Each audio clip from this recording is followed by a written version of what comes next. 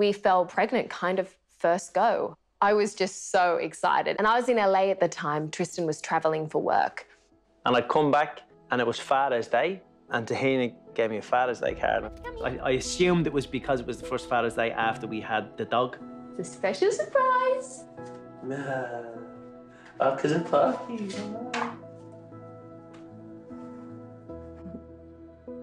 Huh? Howie? What? Howie? You don't have like this physical evidence yet of like, hey, she's pregnant. But the feeling is so strong. I had this really strong feeling it was a girl. Tristan and I had, we named her Isolde. We just got some news. Some news? Yeah. I'm pregnant.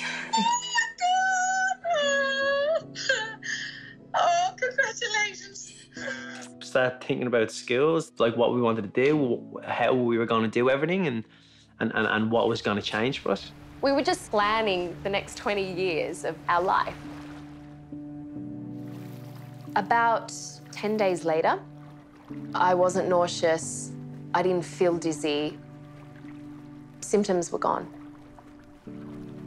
I went to the bathroom, just so much blood. I just screamed out. We went in to get a scan, and the woman, she couldn't see anything. You know, left, right, looked at me and said, There's no viable pregnancy here.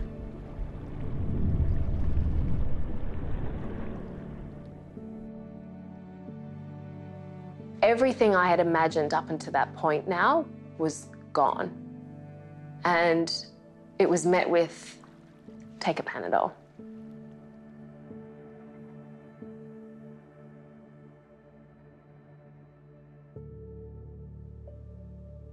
I was heartbroken.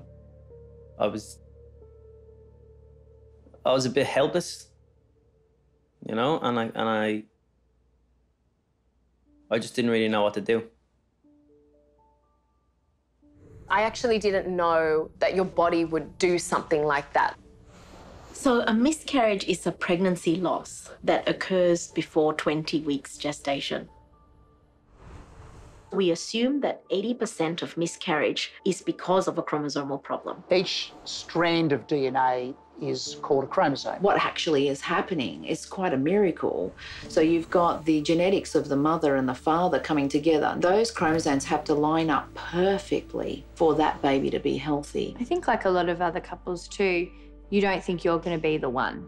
I'd already had two children, both healthy pregnancies. My levels were not reading what they should be for the time that it was. I was in a lot of shock because I thought, you know, when you fall pregnant, happy days, you go on to have a baby. We have chromosome pairs and they're numbered. So when we talk about random chromosome errors, we're talking about an extra or missing number in the pair.